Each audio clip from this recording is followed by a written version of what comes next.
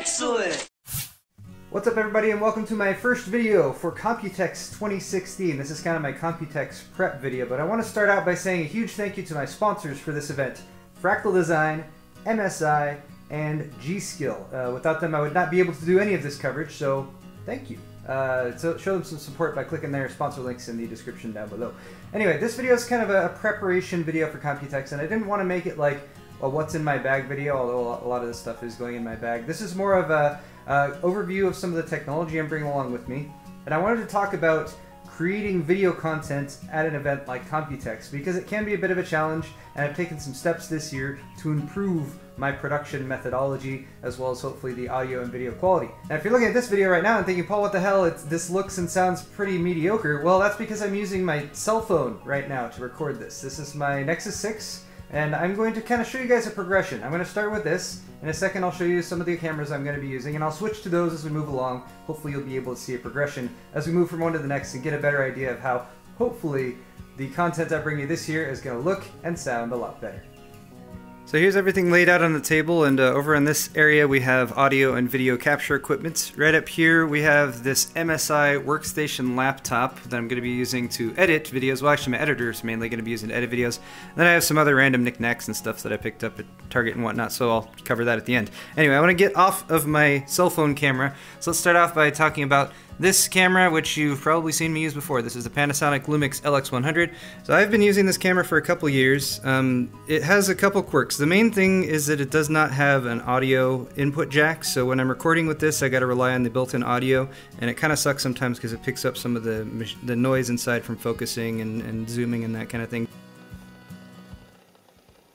You guys hear that? Image quality on this is really great and it gets very nice close-up photos and I have this aftermarket kind of cool lens cap on there that pops open when I turn it on if I can figure out how to turn it on. Hey, look at that. It's fancy. The other thing is there's a fleck of dust on the sensor which is bugs the crap out of me but there's not a whole lot that I can do about it right now. Maybe I'll find like some fancy camera guru in Taiwan to take this apart and fix it. But anyway, uh, let's switch to this camera. Yay, this is so much better. Okay, so camera 1 is my cell phone, camera 2 is the LX100 that I'm using now, camera 3 is going to be this little guy, which is a actual monoprice, kind of a GoPro knockoff. Shoots 1080 video, doesn't get very good audio because it's in this housing, but I've got that attached to kind of a selfie stick thing, and I'll use that for quick shots externally, or you know, if I need to hang it out in an airplane window or something. This is my little flexible tripod that I've been using for the LX100. This is what I used last year at Computex, and I had the LX100 set up on, on top here, and this little offset thing, thing to the side, if you watched the video last year, I had my uh, Zoom H1 mic kind of hanging down off of there, actually with this little ball joint right there. And I was able to kind of walk around with the camera and point it at stuff and record things, and I was able to point the mic back at my face and record that separate audio so it didn't sound mediocre like the audio that you're hearing right now. Anyway, I've reconfigured this for this year. It's still going to be put in use a little bit. I will still use this with the LX100, and um, I like it because it's flexible and you can wrap it around things, or if I just need to set it up on a table or something, that'll be good. So those are my uh, three cameras. Fourth camera is this one right here. Alright, so here's the GH4. Uh, this is my main camera. I actually do have two of these cameras, um, but I'm only bringing one of them. And this one has been upgraded and outfitted with some, some new technology. But uh, the lens I'm using on there is one of the Panasonic lenses. It is the 12 to 35, yes, HD camera. Uh, it's a really nice lens and it gets really good image quality. It does have a floating focus ring, which is the only thing I really don't like about it. But the nice part is that it's really compact and fairly small. So for travel, that works great. GH4 is also great for travel because for a DSLR, it is also very small when it comes to the size of the body. And one of the things I really like, especially for taking this on the go, is the GH4 battery life is absolutely amazing. So, you know, I'm really I've like for instance when I brought this to Austin and I did coverage there, I literally did not ever I used one battery the whole time. I never changed it out or anything. Anyway, flip out screen, all that good stuff, external audio connections, and then as you might be able to see, I have this cage going on on the outside. It's kind of a mid-level cage by ePhoto Inc. DSLR camera, uh, camera rig. Anyway, um, Kyle got one of these cages too, and his was pretty expensive. I think it was over 200 bucks. And I was considering that uh, some of the ones that are solid body. Um, this one is in pieces, but it comes all built and connected together, and uh, I like it so far. It was about 85 bucks, and it gives you a bunch of extra mounting points all around, so you can attach stuff like this little guy in here, which is a little uh, external cold shoe, which I'm going to be using to mount my audio solution. Also, you get a handle up on top, and uh, that really helps for, well, being able to just pick up the camera and move it around like this. Also really helps for when it's on the monopod. So the monopod I'm using is this one. Well, that's the monopod. It's from Manfrotto. Uh, this so this that's the monopod with the rig on top. This uh, this fluid head is actually Velbon Velflow 9 PH368. This one this is only about 40 to $45. Um, Logan first tipped me off to this little fluid head. And you know, it's not super nice like some of the really expensive Manfrotto ones, but it really gets the job done. And even as a fluid head, it's not that bad. You can do pretty decent pans and tilts and all that stuff. So that fits up on top. And um, with this Manfrotto monopod, which has the little legs down on the bottom, uh, I, I also use this in Austin, and I really like it. Uh, I apologize, I don't recall the model of this monopod right off the bat, but I will link it down in the description if you guys want to check that out. So that's kind of my mobile rig, and you know it can stand up or you can maneuver it with the little handle or, or that kind of thing and move it around to zoom in or zoom out or whatever you want to do. So actually Kyle's probably going to be using this a lot because we're going to be filming each other, but uh, I don't know, hope, hopefully he likes this configuration. That said, let's switch to that camera and see how that one looks. Okay, we switched to the GH4. I'm using the built-in mic on the GH4, and let's go over some of this other stuff on here. Now, if you're recording stuff or if you're editing stuff, you're going to need audio and playback. These are my Fostex headphones that I got from Mayflower Electronics, actually. I might not be bringing these, but I'm going to bring a nice set of cans. These have a nice, like, you can you can replace the audio cable on it, so using this little short one made it pretty nice for monitoring while I was testing the monopod rig. Uh, also have a nice little pair of earbuds here. These are from Think Sound. Um, I think these are the Rain. There's Rain and Thunder, but these are actually pretty nice little earbuds. Uh, and then I have some additional audio cables. This little flexible one is for connecting the Zoom H6 up to the GH4 when it's plugged in. Uh, also, I just have a little uh, eighth inch audio extension. Some minor things over here to show real quick. Another little mini tripod, that's to set the Zoom H6 up on if we need to set it up on a desktop. I have a tiny little uh, screwdriver, multi-screwdriver kit. This is actually made for snowboarding, um, but I'm taking it with me because uh, TSA doesn't get mad at it because it doesn't look like it could be used as a stabbing weapon or anything. But that's handy for attaching and unattaching uh, cameras to tripods and anything else where you might need um, to connect something or use a screwdriver. Uh, some minor little things here. This is actually, I'm going to attach this to my belt I made a hole in my belt. So I'm going to screw that in from the opposite side and then that just gives me a little cold shoe on my belt. And that will be so if I need to wear the Zoom H6 on me, on my belt instead of the camera, hopefully I can just pop that in there. I really don't know how that's going to work. Uh, memory cards, of course, these are from Kingston as well as, uh, what is that, SanDisk. Uh, these Kingston little 64 gig micro SD XC cards uh, do a really good job. I've been using those for the past year so. And then um, the Zoom H6. I've kind of shown you, but I haven't really shown you. But I got a Zoom H6. I'm actually really, really happy with this so far. It's a little bit on the expensive side, but um, I'm happy to have gotten it. So it's got four separate XLR inputs. Uh, it's got two built-in microphones that come along with it that you can pop off and remove from the top. So this is the XY version here that gets kind of stereo sound, points in two directions. And uh, this is kind of multi-purpose, I think. And it's got a little carrying case, so you can put everything in there. Here's one of the other mic attachments that comes with it, so um, you can really swap this, swap them out, and depending on what your situation and your sound situation is. Um, I'm not sure how good these are going to work for a noisy show floor environment, so I do have some other solutions as well, but I can pop those onto the end, and they even are removable. Let's I'm sure, I'm sure that's not a delicate connection at all. You can pop those off, and I can, I can even use it without anything connected to the front there. So if I just need to use it as a sound bridge, or soundboard, I can go XLRs into that. Then I'm going to go out of the uh, headphone jack so I can control the volume into the GH4.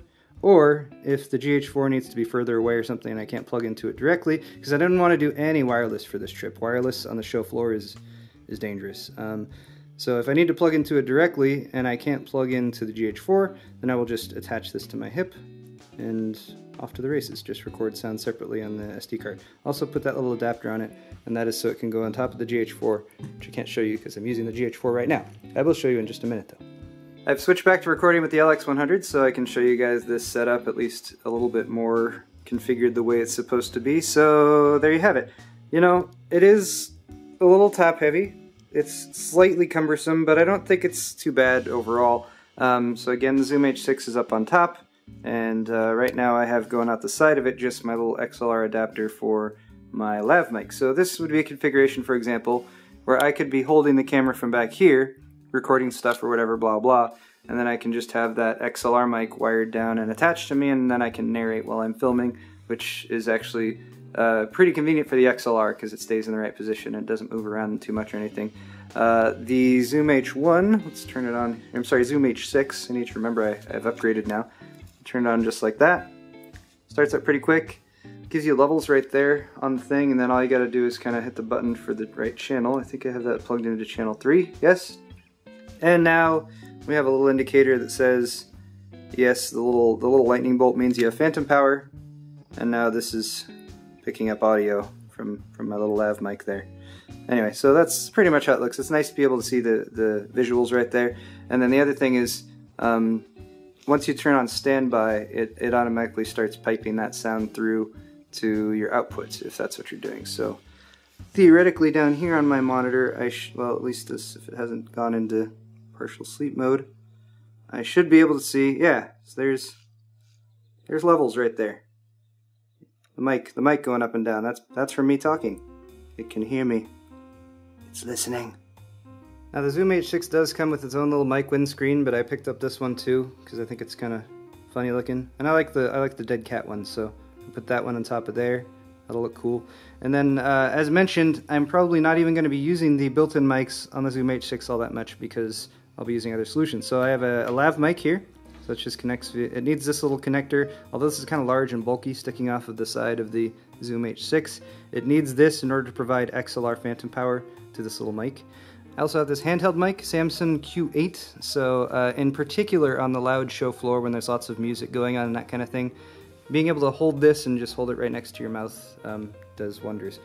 It's nice because I can hold it right by my face and I kind of feel like I'm on The Price is Right. Next contestant on The Price is Right. This is stupid. No. I have a short XLR cable to go with that one, and then again, I, this actually just this little mic windscreen came from from uh, Amazon just earlier today, but I have I have this dead cat as well. Dead kitten. This one is from my Zoom H1, but I think I might put it on top of there.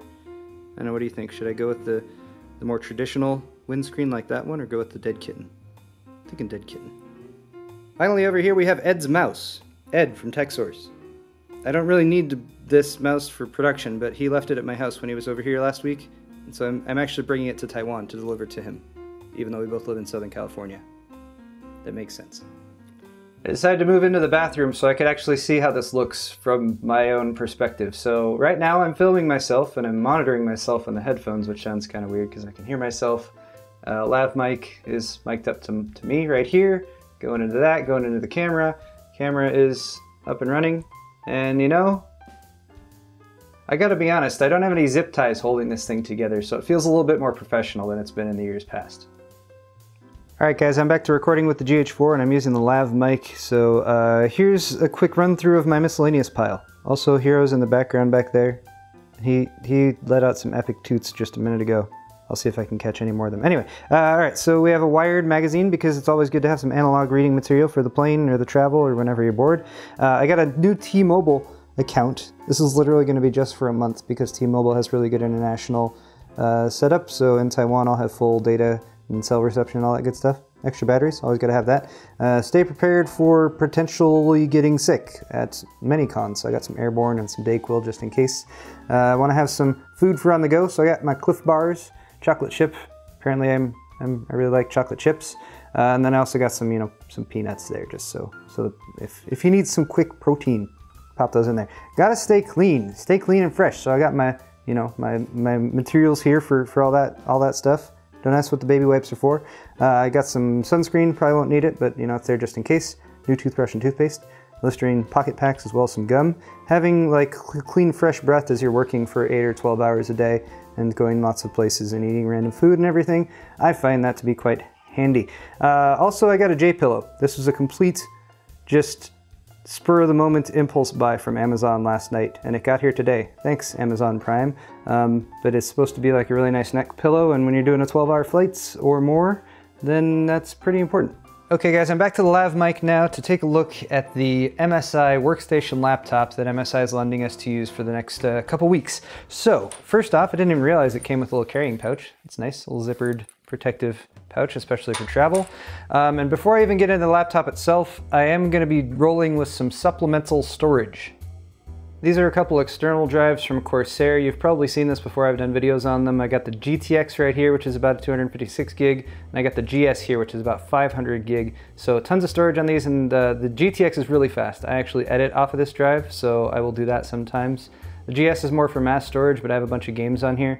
My rule when I'm uh, doing filming on the road is that if I have any footage that's on an SD card, I don't work with it or touch it or do anything with it until it's copied to at least two locations. So that usually means internally to the laptop itself, as well as preferably some external location. So I also have a HyperX SSD. This is a HyperX Savage uh, 480 gig, and I've got that connected to a, USB 3.0 adapter. Um, so that is going to be really, really fast, just about as fast as it would be if you connected it straight to a SATA connection, to like on a desktop.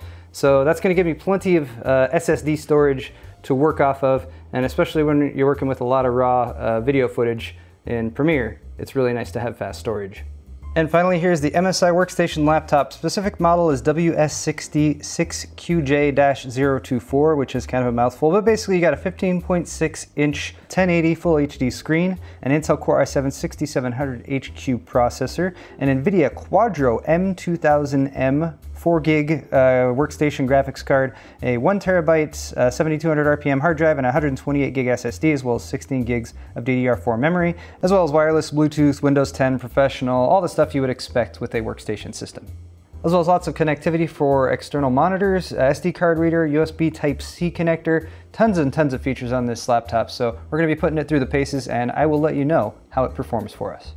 Well, I've just realized I'm pretty horribly backlit, but uh, that's okay. The video is pretty much over. Um, I have one last item here to share. This is an AOC external USB 2.0 powered and connected monitor, which is pretty handy. It's actually my wife's, um, but I've used it a couple times. The model is AOC E1659FWU, and it's pretty small, but um, you know, basically you can set it up vertically or whatever. And the fact that you just plug it in via USB, and uh, you know, you got to load a little driver, but it just works, power and data over the USB connection. So uh, I'll be providing that for Joe so he can have a secondary monitor to use while editing on the MSI workstation. But that is gonna wrap it up for this video, guys. By the time you watch this, I will probably be on a plane to Taiwan and perhaps even another secret mystery location in between that I can't even tell you about yet. I wanna say one last big thank you to my sponsors, Fractal Design, MSI, and G-Skill for helping me go on this trip and bring you lots of informative and educational content. Hit the thumbs up button, subscribe to my channel for all the Computex videos coming up very soon, and we'll see you next time.